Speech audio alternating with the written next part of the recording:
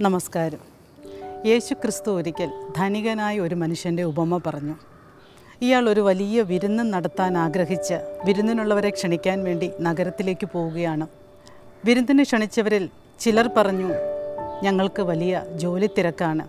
വേറൊരാൾ പറഞ്ഞത് എനിക്കൊരു ബന്ധുവിനെ സംസ്കരിക്കാനുണ്ട്. മറ്റൊരാളുണ്ട് കാരണം ഞാനൊരു വിവാഹം ചെയ്തു എന്നൊക്കെയായിരുന്നു.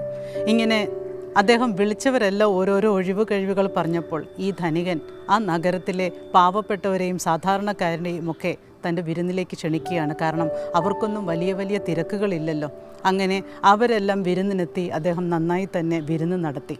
യേശുക്രിസ്തു ഈ ഒരു ഉപമ നമ്മളോട് പറഞ്ഞത് തീർച്ചയായും ദൈവം നമ്മെ ക്ഷണിക്കുന്ന അല്ലെങ്കിൽ ദൈവം നമുക്കായി ഒരുക്കുന്ന വിരുന്നിനെക്കുറിച്ച് സൂചിപ്പിക്കുവാൻ വേണ്ടിയിട്ടാണ്.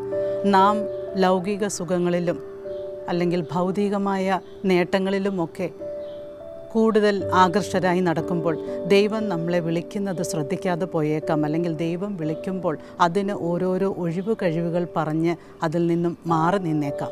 ദൈവം ഒരുക്കുന്ന വിരുന്നിൽ പങ്കെടുക്കാൻ സാധിക്കാതെ വരുമ്പോൾ അങ്ങനെ നമുക്ക് ദൈവത്തിന്റെ സാമീപ്യവും ഈശ്വര അനുഗ്രഹവും നഷ്ടപ്പെട്ടേക്കാം. പ്രിയമുള്ളവരെ നമ്മുടെ ജീവിതം നമുക്ക് ആത്മസംതൃപ്തി ലഭിക്കുന്ന വിധത്തിലും അതോടൊപ്പം തന്നെ നമ്മുടെ ചുറ്റുമുള്ളവർക്ക് സന്തോഷം പകരുന്ന വിധത്തിലുമായിരിക്കുവാൻ നാം എപ്പോഴും ശ്രദ്ധിക്കണം.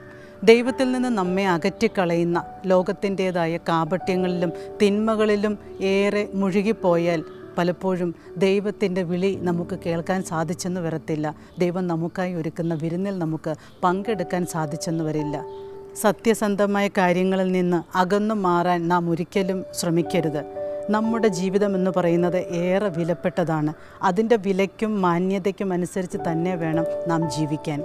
ദൈവം നമുക്കായി ഒരുക്കുന്ന അത്യുദാത്തമായ വിരുന്നുകളിലേക്കുള്ള ക്ഷണം നിരസിക്കാതിരിക്കാനാവട്ടെ നമ്മുടെ ശ്രമം.